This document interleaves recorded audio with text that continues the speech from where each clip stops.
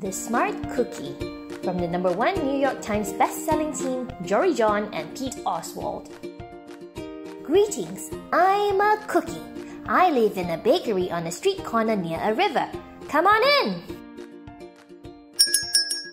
Welcome to our little community. It's a warm and supportive place to spend some time. Pretty fantastic, eh?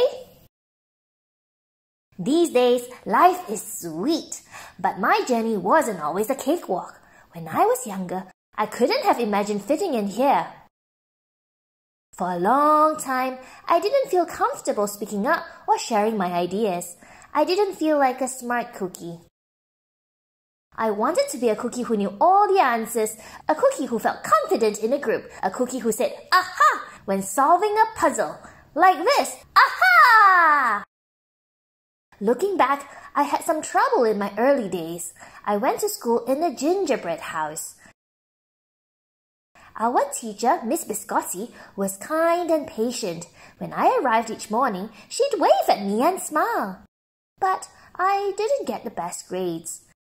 And I never raised my hand because I couldn't think of the answers as fast as the others.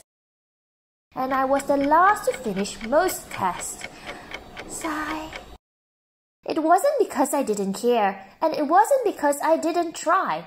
Sometimes I get distracted and mess up, even though I knew the material. Those were the most frustrating moments of all. Once, I misspelled the word dough. that was rough. Another time, I added when I meant to subtract. Occasionally, we'd have a lesson where I had absolutely no idea what was happening. I just couldn't keep up. I imagined that my desk was a raft and I was completely lost at sea because that's what it felt like. At night, I slept in a cookie jar. I had about six dozen roommates. Move! No, you move!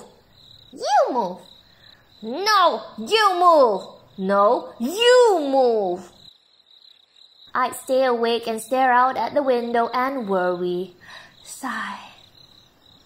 And it went this way day after day after day. But then, something happened that changed everything. It all started with a homework assignment. Miss Biscotti requested our attention one afternoon. Tonight, I would like you to create something completely original, she announced. It can be anything you want. Please bring it to class tomorrow. That was it.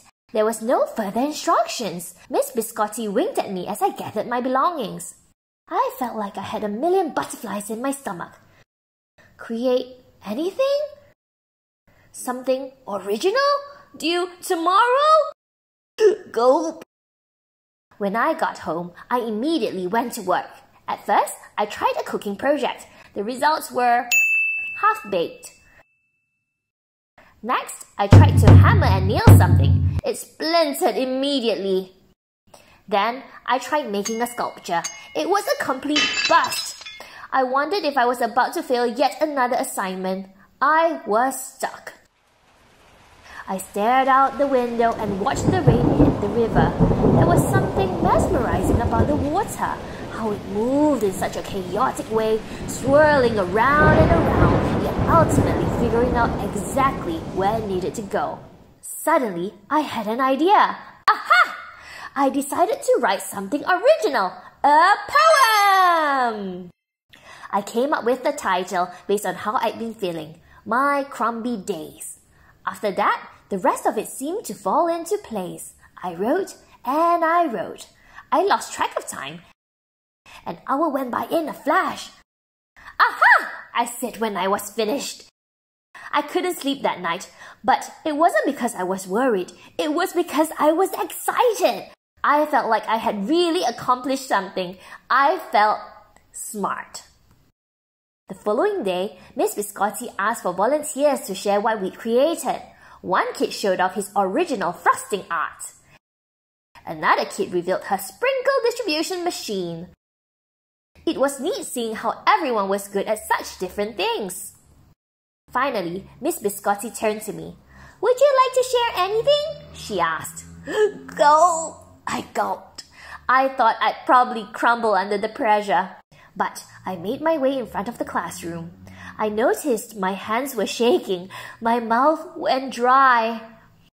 Um, um, this poem is called My Crumbly Days, I said, my voice cracking, and then I read it aloud. As I spoke, I noticed some kids nodding at certain lines. Other kids laughed at parts that were supposed to be funny. As I built towards the finale, I felt myself becoming more confident and animated. And in the end, everybody clapped and cheered. I promise you this, I'll never ever forget it. Miss Biscotti was beaming. No one but you could have written that poem, she said. It was completely original. Aha! I had done it! I created something and shared it with the world. Well, my world at least. The rest of the day was a blur. By recess, I was already planning my next poem. I would call it My Sweet Morning. Aha! I thought when I came up with the title.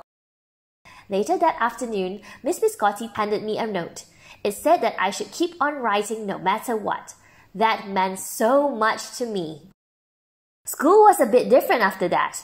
I wasn't so scared to raise my hand or ask a question or share my work. Sure, some things still didn't come as easily for me as they do for others.